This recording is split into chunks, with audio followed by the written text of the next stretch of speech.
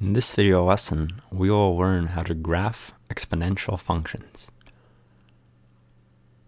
So first, what do we mean by an exponential function? Well, exponents is when you have one number to some other power. So like 2 to the third is an exponent, and 2 to the fourth, and 3 to the sixth. All these are exponents. But what is an exponential function? An exponential function is an expression like y equals 2 to the x. Or another example could be 3 to the x minus 5. Or another good example is 20 to the 5x minus 16 plus 22. All that matters is that in an exponential function, you have a number to some xth power. So in the first case, just the x power. In the second case, x minus fifth power. Third case, 5x minus 16th power. But we have an x that we're taking as a power. And that is what we call an exponential function. So now let's talk about how we're going to graph these.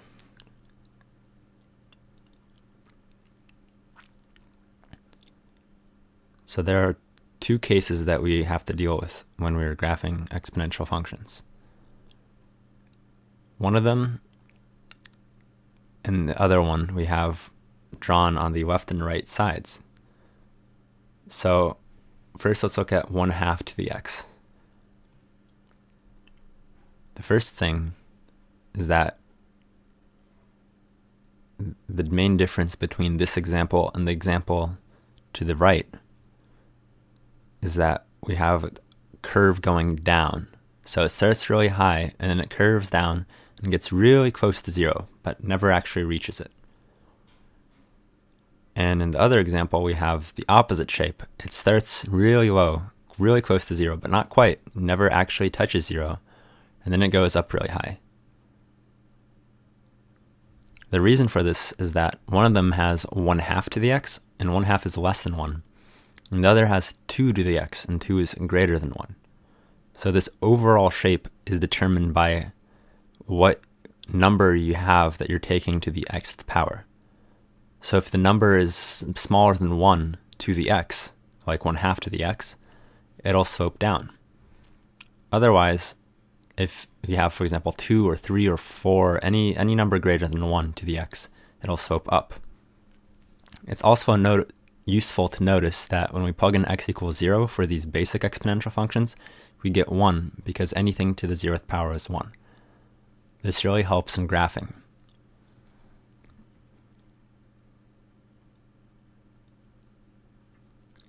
And notice the reason why 1 half to the x gets closer and closer to 0 when x is increasing is because every time we increase x, we are multiplying by another 1 half.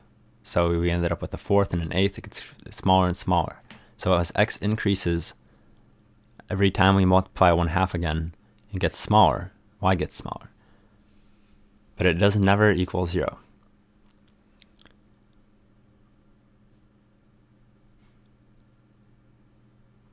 On the other hand, when we have y equals 2 to the x, well, first of all, when x gets larger, then of course it's going to get very large. You're just multiplying 2 very many times.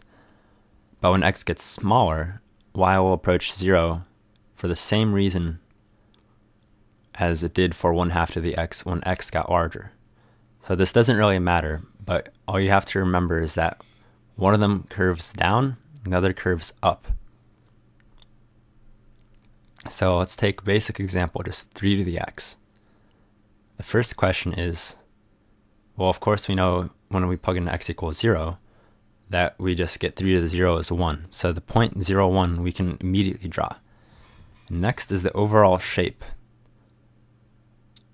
Since 3 is greater than 1, and that's the sort of barrier in question, as if, if the number is greater than 1, then we have the curve up. If it's smaller than 1, then we have a different situation where it curves down. But right now, it curves up. So now, just to help us be slightly more accurate, we'll plug in x equals 1 to get a second point, because anything to the first power is itself. So now I have two points, and that's enough to just make the graph. And there it is. And notice we start very close to zero, not at zero because it doesn't intersect zero, but very close. And then we curve up through the two points. That is what the graph should look like. And now we just label it y equals 3 to the x. So now we're going to look at the next example. y equals 3 to the x plus 1.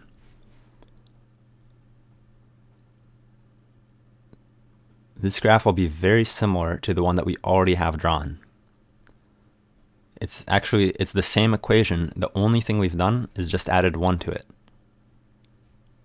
And what adding this 1 means is shifting the graph by 1 up. So since we already have the graph of y equals 3 to the x, we can just draw it one unit higher. So instead of starting very close to 0, we're going to start very close to 1. And there we start. And then we go through one point above. And there's our graph.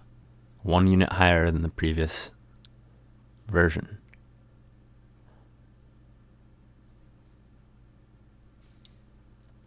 And this new graph in blue is y equals 3 to the x plus 1.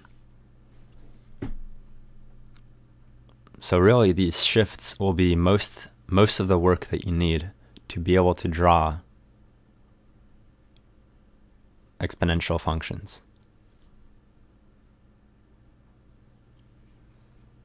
So now we're going to take a look at the final example, but it's going to be the hardest one too. 1 fourth to the x plus 1 minus 2. So this problem has many parts, and we're going to have to break them down a little bit. First, let's start with y equals 1 fourth to the x plus 1 minus 2. And the very simplest expression from this that we can start working with is just y equals 1 fourth to the x. The other things, the plus 1 and the minus 2, those will be shifts. So first, we're going to graph y equals 1 fourth to the x. All right, well, we already know since it's a very basic exponential function, it's going to go through the point 0, I already marked it on the graph.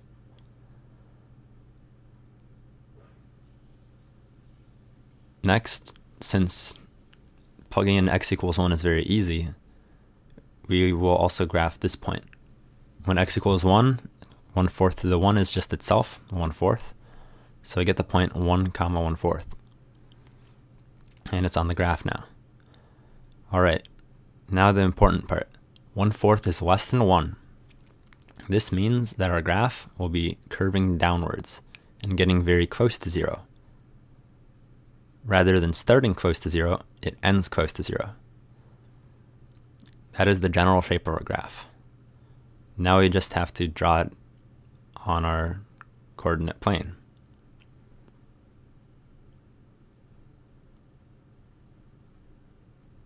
So here it goes. And that looks about right. Here, let me correct that. All right. So this is a graph of y equals 1 fourth to the x.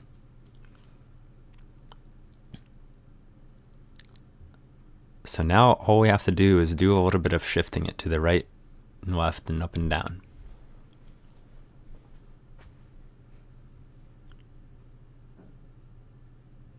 So first of all, what exactly are our shifts going to be? Let's take a closer look. So we have 1 fourth of the x plus 1, and the whole thing has minus 2. So the x plus 1 together means a shift one unit to the left.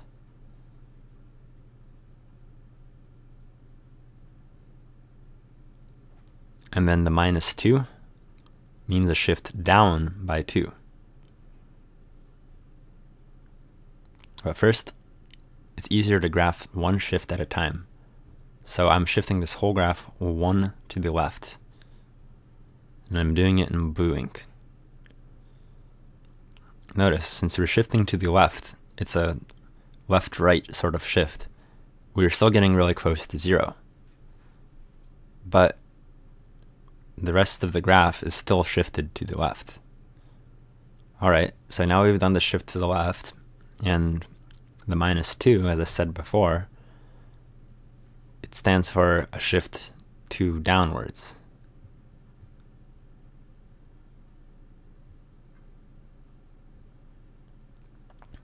So let's graph it. So instead of getting really close to 0, since we're shifting down by 2, we're going to get really close to negative 2. And there it is, we're swooping down. And I apologize for this ink. I'll cover it up pretty quickly to make it brighter. So this is the graph of our final equation that we want. And notice how it's getting really close to negative 2 when x is pretty big. And in just a second, since this is going to be our final answer, we don't need the blue or the black graphs, I'll erase them and recolor the green graph black so it's easier to see.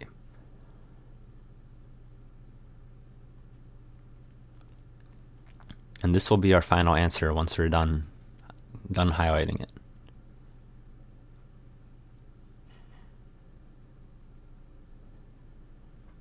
And that's it. There's a graph of 1 fourth to the x plus 1 minus 2. Thank you for watching this video lesson. I hope it helped.